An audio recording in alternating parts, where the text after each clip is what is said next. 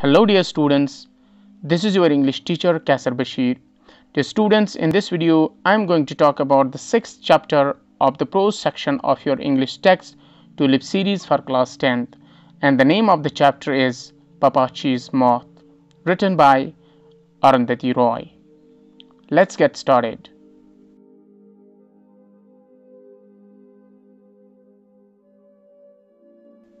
About the author. Dear students, Arundhati Roy is an Indian novelist, essayist, and committed human rights activist who has been writing on contemporary social and political issues. She was born on 24th of November 1961 in Shillong, Meghalaya, India. She is best known for her novel The God of Small Things, which was published in 1997. And this novel won her the Man Booker Prize for Fiction in the same year, 1997. The students, her second novel, The Ministry of Utmost Happiness, was published in 2017.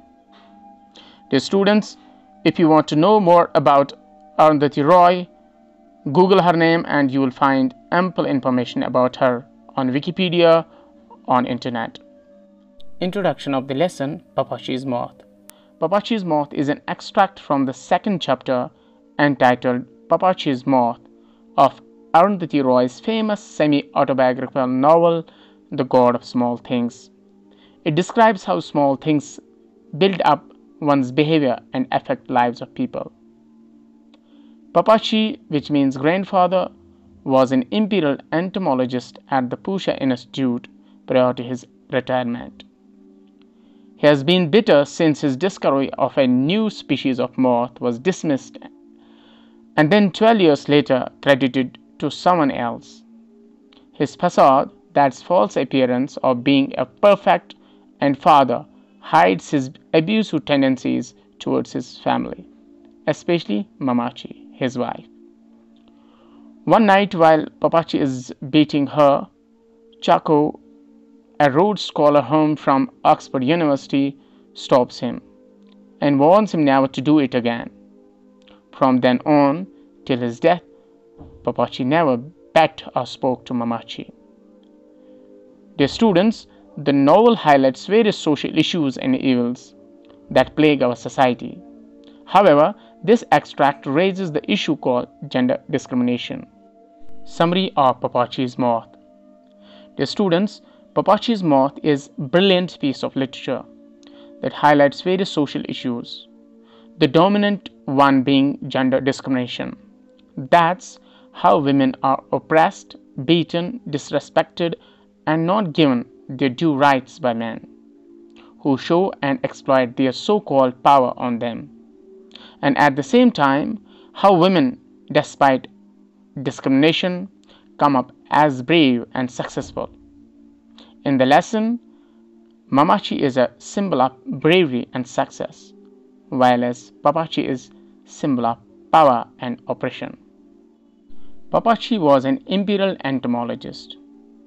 Entomologist is someone who studies the insects, and he had retired as a director in the Department of Entomology.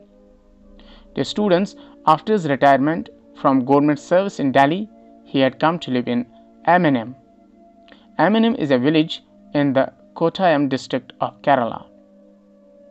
Many years passed and now he spent most of the time at home. His wife Mammachi had started a small business, pickle making, after his retirement. She was now quite successful in the business and had made a name for herself. Pappachi never helped her in her work because he considered it not a suitable job for him, a high ranking ex government official. On the contrary, he was always jealous of her success in the business. He often bet her with a brass flower vase, displaying his so called power and dominance. And in order to get her a bad name, he would sit on the veranda and start seeing the buttons that were, in fact, not missing. But there was a reason behind his bitterness in temperament. While in service, he had discovered a new species of moth, which had lit a candle of hope or fame in his heart. However, after six unbearable months of anxiety, he was told that his moth had finally been identified as a slightly unusual race of a well known species that belonged to the tropical family Lymantriidae. And after 12 years, Pappachi, now retired from service, came to know that Lepidopterists had decided that his moth was a separate species hitherto unknown to science, and the credit of this discovery was taken by the acting director of the Department of Entomology, who used to be a far junior to him and whom he always disliked. This all shocked him and made him turn bitter. This bitterness continued throughout his life, and he would exploit this bitterness on his wife. The students, Lepidopterists, are those who study butterflies and insects. Pappachi's son, Chacko, a scholar at the Oxford University, once during his visit home, saw his father beating his mother with the brass flower vase. He took hold of his father's arm, twisted it at his back, and warned him not to repeat the same in future. After this incident, a great change came in Pappachi's life. He never spoke to Mammachi till he passed away because of heart attack at the Kottayam General Hospital.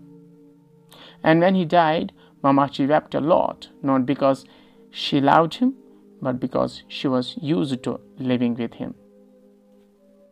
Points to remember The God of Small Things is written by Arundhati Roy. It won her the Booker Prize in 1997. Pappachi was 17 years older than Mammachi. Mammachi was suffering from conical corneas, an eye disease. The Plymouth, the name of the car Pappachi bought, was Pappachi's revenge at his family. Pappachi died of heart attack at the Kottayam General Hospital. The main theme of the lesson is gender discrimination. Assessment The students, this section is for you. Read the questions and options carefully and select the correct option and then write them to me in the comment section below so that I can see whether or not you have done them correctly. Question number 1. Arundhati Roy was option A. Film star B. Novelist C. Social and political activist D. Both and B. Question number 2. Pappachi's Moth is an extract from the novel. Option 1. The God of Big Things. Option B. The Minister of Utmost Happiness. Option C. The God of Small Things. Option D. None of the above. Question number 3. Arundhati Roy won the Booker Prize in 1997 for her best-selling novel The God of Small Things, which was published in the year Option A 1998, B 1999, C 1997, D 2017. Question number 4. What business did Mammachi start after her husband Pappachi's retirement? Option A tailoring, option B hairdressing, C. Pickle making, D. None of the above. Question number 5. Pappachi had been an imperial entomologist at the Desh Institute. Option A. Usha. Option B. Pusha. Option C. Plymouth. Option D. Imperial. Question number 6. One who studies butterflies and insects is called Option A. Anthropologist. Option B cytologist. Option C, dermatologist. Option D, lepidopterist. Dear students, if you have any doubts, any queries about today's video, you can contact me on my phone number 9596 I'll meet you with next part about the same lesson very soon. Till then, stay blessed. Khuda Hafiz.